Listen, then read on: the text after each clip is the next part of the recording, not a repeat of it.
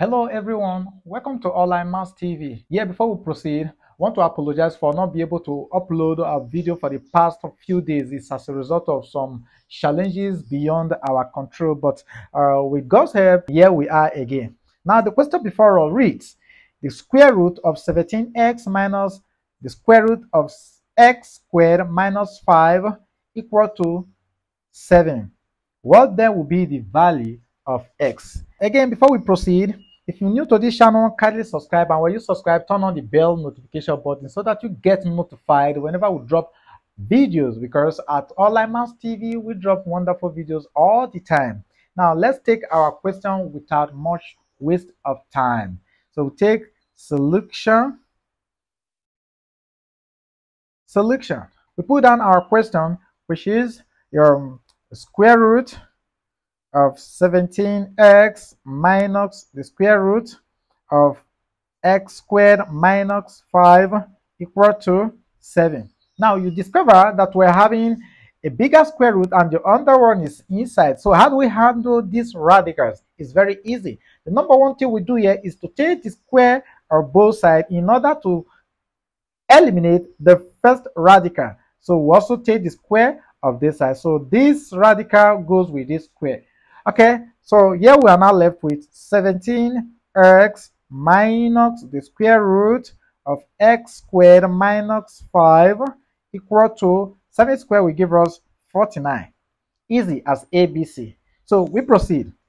What we do at this point, look at this. Move this radical alongside with the sign to the right hand side of the equation and move this constant to the left hand side of the equation. If we rearrange, we're going to come out with your 17 x then minus 49 then equal to the square root of x squared minus 5. Because we're still having a radical at the right hand side of the equation, so we have to eliminate this by taking the square of both sides of the equation again. And so we square this, also square this. Now this radical goes with this square. So the left hand side can also be rewritten as your 17x minus 49 close bracket into 17x minus 49 close bracket everything equal to your x squared minus 5 so the work is becoming simpler. Now what we do is to use the first bracket to open up the second bracket. In other words we use this to multiply this. We also use this to multiply this they use this to multiply this, use this to multiply this. Okay, so let's go ahead and do that. 17x times 17x, that will give us your 289x squared minus 17x times 49 will give us 833x minus, we come to this second one, minus 49 times 70x will still give us 833 x there plus because minus times minus will give us plus. So 49 times 49 that will give us 2401 everything equals to x squared minus 5 let's move all the terms on the right hand side to the left hand side. Okay so if we rearrange we're going to come out with 289x squared minus because this is plus so crosses the sign of equality turns to minus. Then minus your 833x minus 833x plus 2401 this crosses to this side turns to plus 5 everything equal to 0 on the right hand side. So we cannot carry out our addition and subtraction. Here we are left with 288x squared there minus this will give us 1 6 uh, 6 6 x there plus 2 4 0 6 equal to 0 good. Now if you look at this this is a quadratic equation. So we can solve this quadratically but before we solve quadratically you can see that 2 is common to every here so let's divide through by 2 so if we divide through by 2, we're going to come out here with 1, 4, 4 x squared minus here 8 uh, 3 3 x plus here 1 2 0 1 equal to um sorry 1 2 0 3 rather 3 equal to 0. At this point, we can bring in the quadratic formula to simplify this. So using the quadratic formula, we can now have this to be our x equal to minus b plus minus the square root of your b squared minus 4ac everything all over 2a. But let's get the value of a, b, and c from this equation here. So our a is equal to the coefficient of your x squared, which is 1, 4, 4. b is the coefficient of x, which is minus 8, 3, 3.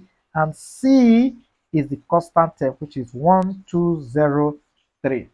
Okay, let's go and substitute these values into our formula. So our x thus implies that x is equal to your minus 8 okay, minus because this is also minus so minus 8 3 3 close bracket minus plus yeah the square root of your minus 8 3 3 r squared minus 4 into your a is 1 4 4 close bracket the into your c is 1 2 0 3 close bracket.